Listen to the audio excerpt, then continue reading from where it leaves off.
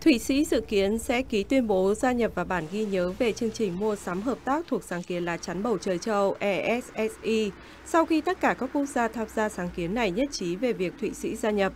Sáng kiến này được Đức khởi xướng vào năm 2022 trong bối cảnh Nga tiến hành chiến dịch quân sự đặc biệt tại Ukraine. Cho đến nay, 19 quốc gia đã tham gia ESSI, bao gồm một loạt các thành viên tổ chức Hiệp ước Bắc Đại Tây Dương NATO và thậm chí cả Áo. Chương trình này không chỉ cải thiện sự phối hợp mà còn bao gồm các dự án quốc phòng và cùng nhau mua sắm, cải thiện khả năng tương tác giữa các quốc gia đối tác khi cần thiết.